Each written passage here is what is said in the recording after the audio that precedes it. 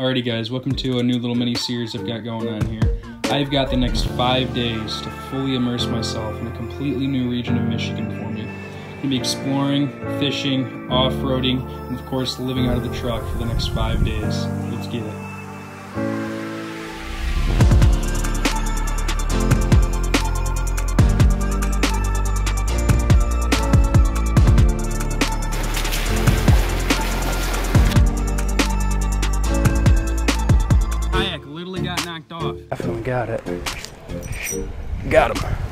So sick.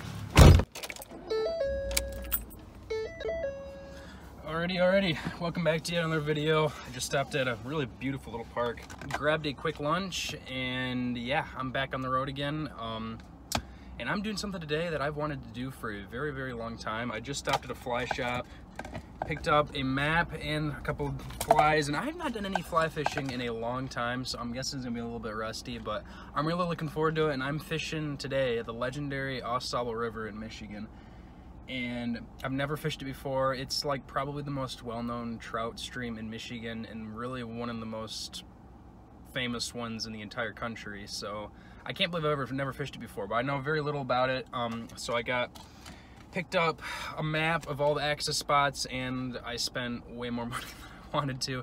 Dang little flies, they add up so fast, but it, whatever, support local business and the guy was super, super nice and cool. So I, I was, it's all right, I'll, I'll live with it.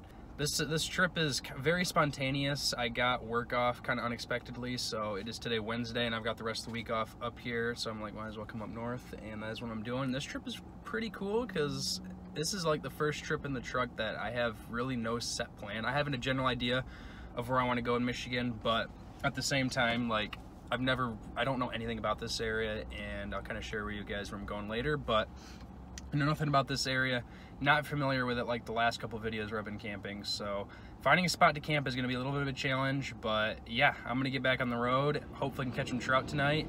Got to cook up some dinner and of course find a spot to spend the night. So I'll get you guys when we get there. Let's get it.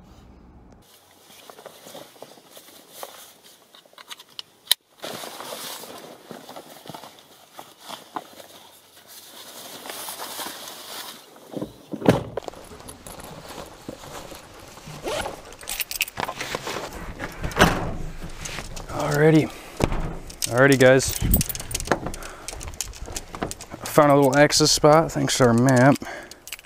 And I'm actually really excited. I've been craving to do some fly fishing for a while now. And to finally do it on probably the most well-known river in Michigan, one that I've wanted to fish for many of year.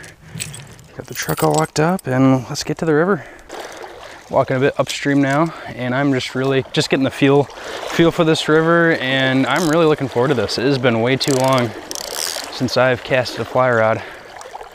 This is gonna be fun. Got a nymph tied on. Just gonna find a decent looking little run and fish it for a little bit. It's a beautiful river. I can't believe I've never fished this river before. Oh, there's a mink over there. That's cool.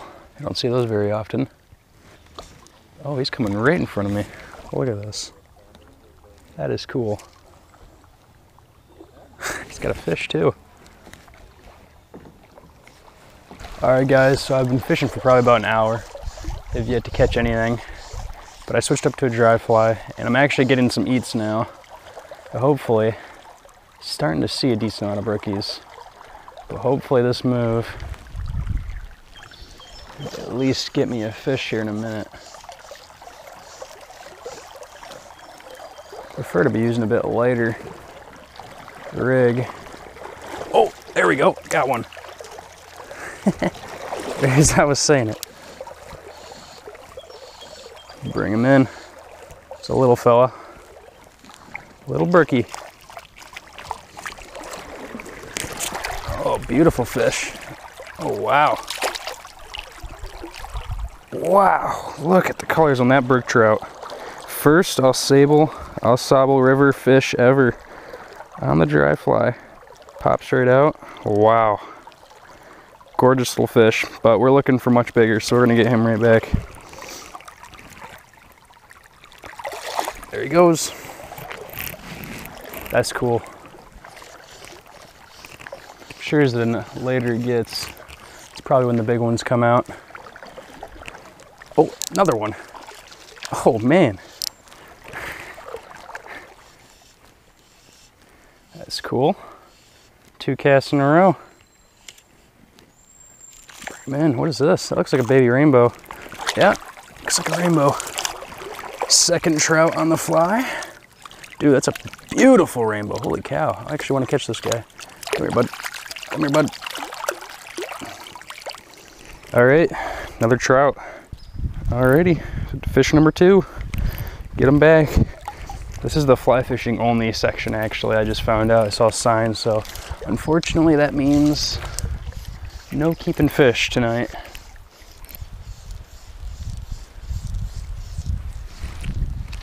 It's just perfect looking.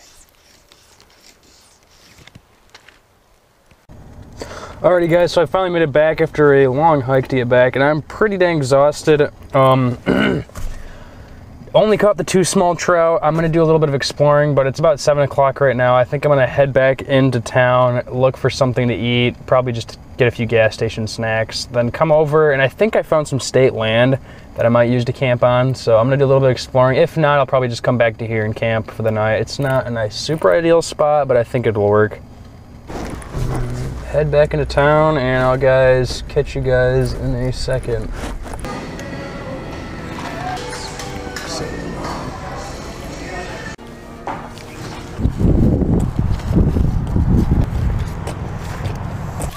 I don't know. State land means it could be a good spot to sleep. That's what I'm kind of hoping if there's a trail back there. I might as well go check it out. If not, I'll probably just head back to that spot that I was just at. There's a ton of access points though. Well, let's go check it out. Alrighty guys, so I managed to do it again. I think this is all state land in this area. I haven't seen any no trespassing or private property signs, but apparently this road actually has a name. And as you can see, it's really not a road at all. It's a pretty, pretty tight two track here. And I think this is about a half hour drive and it's supposed to be a fishing access at the end of this, right to the Au Sable. Oh boy. Oh, this gets really rough. According to the map, this is all state land and there should be a fishing access somewhere back here. It looks like I have like another half quarter mile or so to go until I get to the north branch of the Sable, but either way, I'm spending the night somewhere in here. Okay. All right, guys, so I think I'm finally close to the river. Oh, I think it's up up there. Hopefully, dude, it's taken me so long to find this access. I'm going to give this a little bit of a go until probably about nine o'clock, and then I'm gonna find a spot to camp. All right, guys, so the fishing didn't pan out. It was just a pretty sketchy, remote looking spot. And I'm on my way back on this two track. I thought it was just kind of total bust of a night, but I saw this spot, this two track, and look where it goes. Dude, what a view. That view is insane. And dude, I could totally bring the truck right here and have an insane overlook. Oh my goodness. That is unreal. Nothing but woods. That's so beautiful. Now the only problem is, I'll show you guys what I have to get up to. I really don't think this is meant for cars up here because it's all sand and it's there's a spot where the sand gets pretty thick. So I'm not 100% sure how comfortable I feel with getting the truck up here. But if I could get it up, that lookout is insane. I'm gonna see if it's possible, but I really don't want to get stuck at the same time. Alrighty guys, I tried really hard, but I'm not sure if I can make it up that hill. You can see see my field attempts right there trying to get up. That sand is just really deep and I really don't want to risk getting stuck. I'm even in, I'm in four-wheel drive already too and I just I don't know. I'm not sure if it's gonna happen. I might still go up to the overlook though and at least try to at least try to get a decent view while I eat some food and stuff, but unfortunately I don't think it's gonna happen to get the truck up there and be able to sleep up there. But oh well, I might give it one more one more try, and maybe if I kind of lead into it and get a bit of a speed, maybe I can get it just far enough. But I don't know. It's pretty risky. I don't know if I want to push it.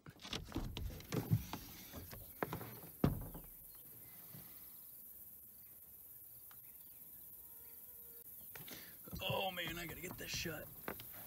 Yeah, yeah, I pushed it. But I just got the mosquitoes have just come out and they were absolutely horrible. So I got the lights on. I am jumped in the back of the truck and I, I am not sure if I'm gonna leave this again. I am a bit slanted a bit down, but I am parked for the night and I actually made it up the sand dune. So yeah, I made it up. You guys have no idea how nervous I was about that. I really did not want to risk it getting stuck or anything, but um, the sand was super deep, but I just kept going in reverse. I would speed up, get up a bit further. I came back down, reverse, all the way back down, gained up some speed. And then I think in like the third or fourth time after going right back up my trail, I just slowly kept getting further and further and I was able to get to the top of that ridge of the gravel was solid again. And I pushed it all the way up and I made it to the top and it's a pretty incredible view. Easily by far the best view so far in the truck camper. I didn't know if I was going to top the first night in it, but this is pretty unreal, this lookout I have. So, but yeah, I'll give you guys a full rundown. I didn't end up even cooking any dinner tonight. I was just, I'm, I'm exhausted and starving and very low energy. The fishing just did not really pan out today, but it's all right. I still have all day tomorrow and I still have my end, end, end destination to get to. Yeah, gonna get situated, get ready for bed. I'm exhausted.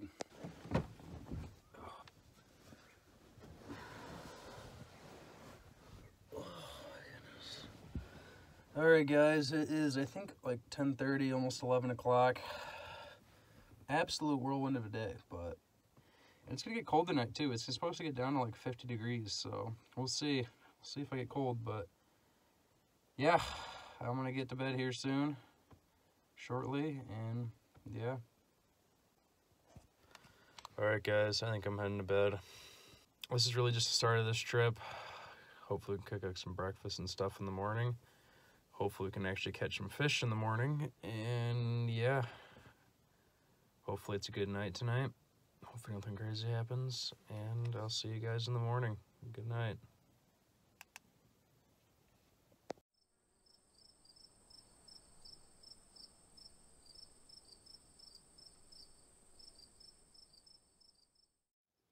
Oh my gosh guys. There is my view i get to wake up to sun coming up.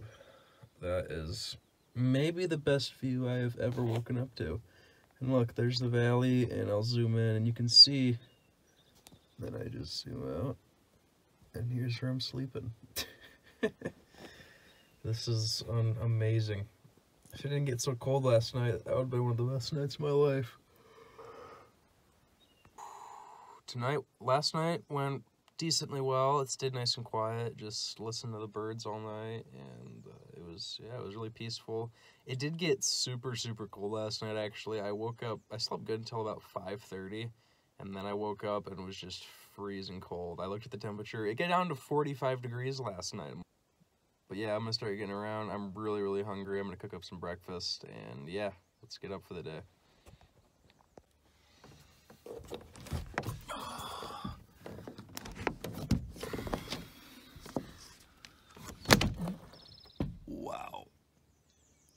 My word. That is an unbelievable view. I can see, I don't even know how many miles it's gotta be. It's gotta be like at least 20 or 30 miles way off in the distance. I think the river is just down there a little ways. This, that was not, not smooth. Oh my word. What a morning. What a day to be alive. This is unreal. People will literally pay thousands of dollars for a camping spot like this or to have, you know, they'll pay like a stupid amount of money to have property here or to get to a place with this kind of view or to have a cottage here. And for free, I just bring up the truck, bring up the truck camper, park right here in this overlook, all for totally for free. Not a soul in sight.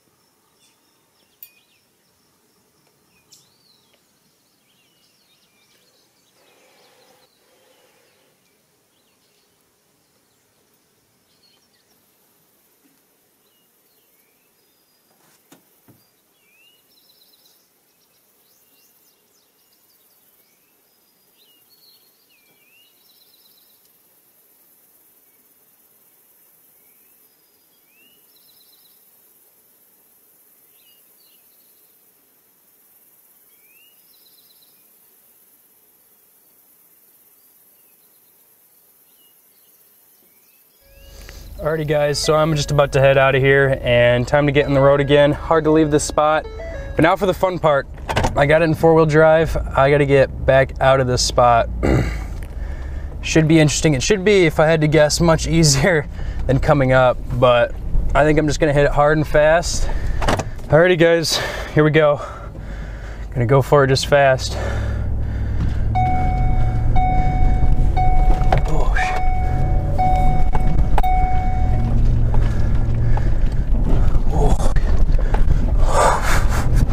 Oh. Come on, truck. Woo! Woo! We got it. All right, I figured that'd be much, much easier than getting it than going up. Dude, look what I just saw. Another two track just around that bend. And I just checked Google Maps, and this one takes you up to the lookout too. This is way easier than the route I took. Uh, well, I pushed the, tr the truck and struggled and stressed for basically nothing. But yeah, I, I just took the fun way. That's what I'm gonna tell myself. All right, guys, just made it onto the North Branch, and I just talked to the first other fly fisherman I've seen this whole trip. And just a really nice older fellow gave me some information. I'm in the North Branch of the AuSable right now, and he was here because he said this is the coolest water in the area right now. So I think I'm doing the right thing. But he also said that there really there's a lot of brookies in here, but just really not much size. And July is a tough month for them, the bigger ones. He said a good fish in here is about 10 inches.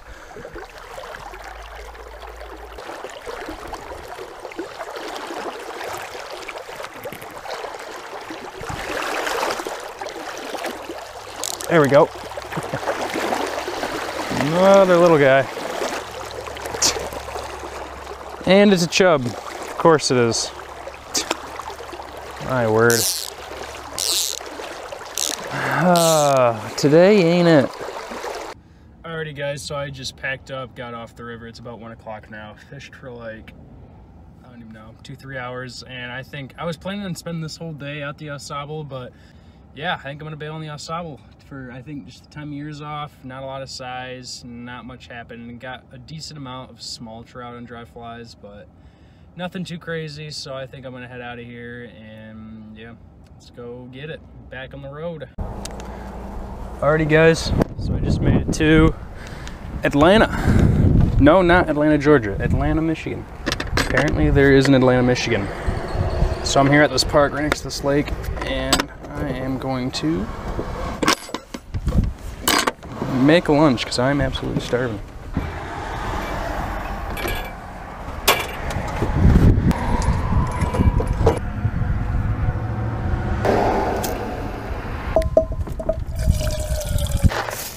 Macaroni and tuna.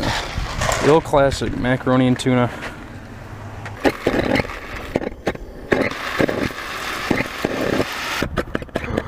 Oh, shoot. You know what I just realized? I don't have a can opener. Alrighty. Knife coming in clutch again. Alright. First time I get to use my silverware drawer. Get this guy out. Should be perfect for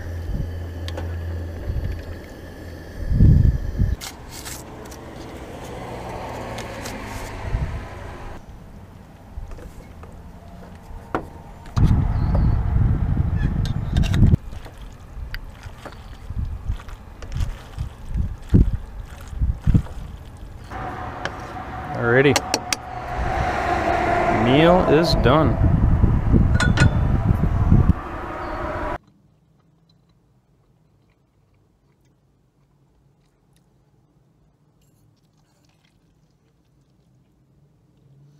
Simple meal, but very, very much needed. Alrighty guys, finished up lunch. I still gotta wash the dishes. I'm gonna wait for a better spot to do that though. Picked up a drink, which I desperately needed. Yeah, not much here, so let's get on to the next town. Uh, I'm gonna do a little exploring, scout a new area, try to find a spot to camp. Let's get back on the road. Alrighty guys, so I just made to the spot. I found some state land, and this looks like it could be a good, decent spot to sleep tonight.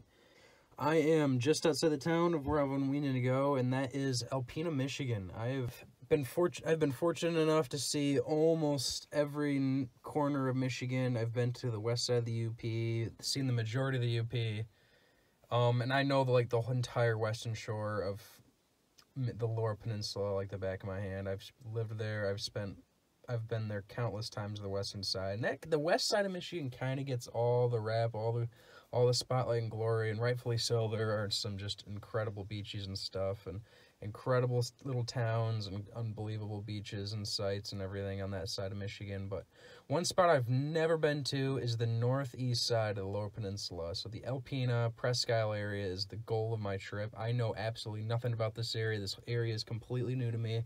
And I just thought it'd be cool to see a new area of Michigan, somewhere that really flies under the radar and goes overlooked most of the time. And just, I figured I'd take the next two, three days and just fully immerse myself in a completely new experience and see what this whole area of Michigan has to offer and just don't know a ton about Lake Huron in the area, so I figured this would be a cool opportunity to do this trip. But yeah, I'm gonna head into Alpena probably in here pretty shortly, pick up some supplies. Like really the only major city in this entire area or town, or I think it's it's a decent size. It's got like a Walmart and a Meijer, which is nice. Then I need to find a decent place to camp tonight and figure out a game plan for the next two days. But I'm really excited. Alrighty guys, just made it into Alpena at the marina right now. I'm gonna just go walk around, check it out, see what the city has to offer. Let's get it. Legit first cast in the Alpena Harbor. I never have luck harbor fishing, so that is awesome. Nice little.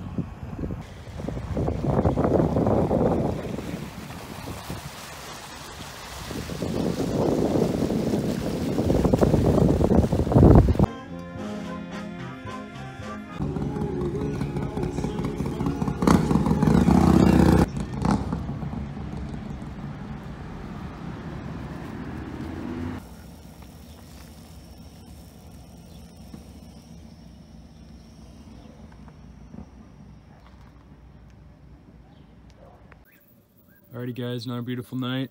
Just on some state land, uh, nothing too remote or anything, just outside of town. There's a bunch of state land around here, which is really nice, but got the truck camper set up for the night and the mosquitoes are really bad, so I'm going to hurry this up. Oh.